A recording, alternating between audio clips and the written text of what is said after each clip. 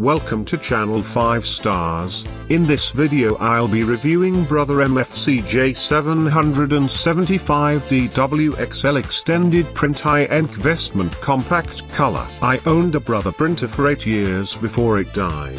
I replaced it with a cheapo Canon because money was tight when it bit the dust. That Canon was an ink hog that only lasted 8 months. Insert sad face. I decided to deal with the price difference and purchase this brother. Although I've only had it a few days, here are my initial thoughts. 1. Super easy to set up, literally took minutes and it was running. The printer printed its own instructions to set it up. How cool is that?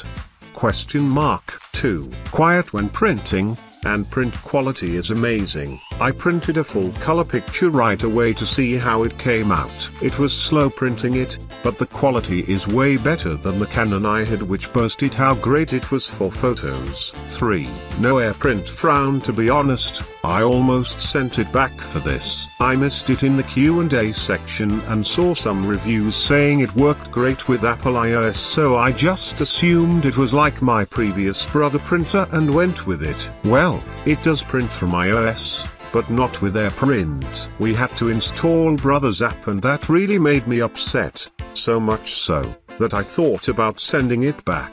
I decided against my initial reaction and decided to try to app before giving up. It's really not that bad, I can still print from Safari and email, I just have to choose the iPrint app instead of the built-in print button in iOS. To print a photo, you have to open the photo from the iPrint app. All in all, if the ink cartridges last as long as they are supposed to, I will love this thing with my whole heart. I will update my review if anything changes, but keeping my fingers crossed we stay companions. We are a participant in the Amazon Services LLC Associates program an affiliate advertising program designed to provide a means for us to earn fees by linking to Amazon.com and affiliated sites.